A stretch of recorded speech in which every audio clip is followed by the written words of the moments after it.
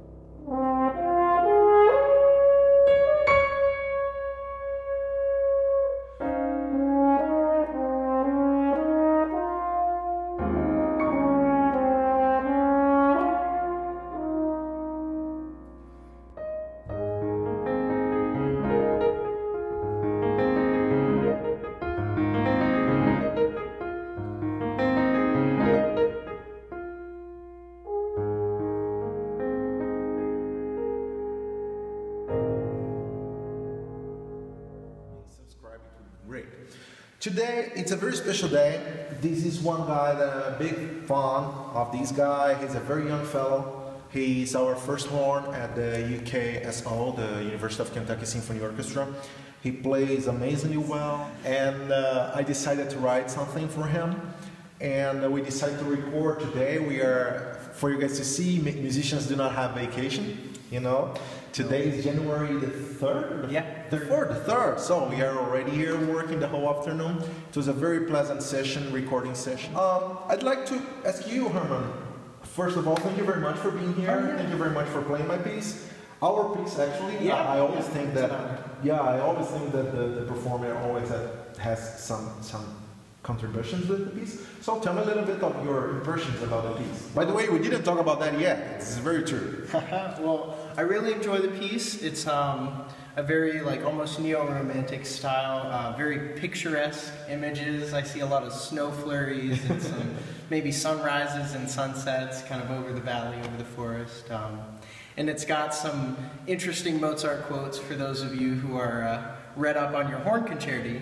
uh, so when you listen to it, uh, I hope you hear those and enjoy them as much as we did. Yeah, and uh, um, tell me if this is the case. I think it's quite interesting for you guys from America to listen to to hear uh, neo-romantic as you described. Again, we didn't talk about this yet. And how do you connect that with the Brazilian spirit that you already able to see Brazilian composer Mhm. working with us? You saw a piece of mine for orchestra. So how those dots are connected in your head? You know, Yeah, I come from the you know the, the Western tradition, and um, obviously you have both your Brazilian heritage and the study, you know, the academic study you've done of Western traditional music. So after hearing more um, uh, Brazilian com- through composed music. Uh, it reminds me of movie music a lot, you know. Nice. But then um, it's a little more expansive with the rhythms, the syncopations, the meter changes. Uh, it's a little more interesting